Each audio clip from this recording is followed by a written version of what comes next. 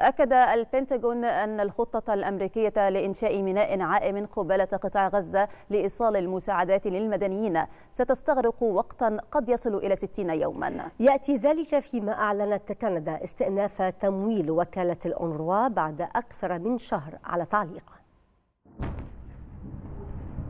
في الوقت الذي يواصل فيه الاحتلال الإسرائيلي قصفه بلا هوادة على غزة يأتي بصيص أمل في إدخال مزيد من المساعدات الإنسانية إلى القطاع بعد الإعلان عن الممر البحري المرتقب بين قبرص وغزة. في بيان مشترك للجهات المساهمة في الخطة. وعلى رأسها الولايات المتحدة والاتحاد الأوروبي تم الإعلان عن فتح ممر بحري بين قبرص وغزة لتوصيل مساعدات إنسانية إضافية تشتد الحاجة إليها في القطاع. وعلى الرغم من اعترافهم بأن هذه العملية ستكون معقدة أكد المساهمون تصميمهم على العمل من أجل ضمان إيصال المساعدات بأكبر قدر ممكن من الفعالية. وأعلن البنتاغون أن الميناء العائم المؤقت الذي تعتزم الولايات المتحدة إنشاءه قبالة غزة لإيصال المساعدات إلى سكان القطاع ستستغرق عملية بنائه ما يصل إلى 60 يوما وسيشارك فيها على الأرجح أكثر من ألف جندي وفي خطوة تزيد من الأمل لإنقاذ حياة الآلاف من النازحين الذين باتوا في أمس الحاجة إلى المساعدات الإنسانية أعلنت كندا استئناف تمويل وكالة الأمم المتحدة لغوث وتشغيل اللاجئين الفلسطينيين أونروا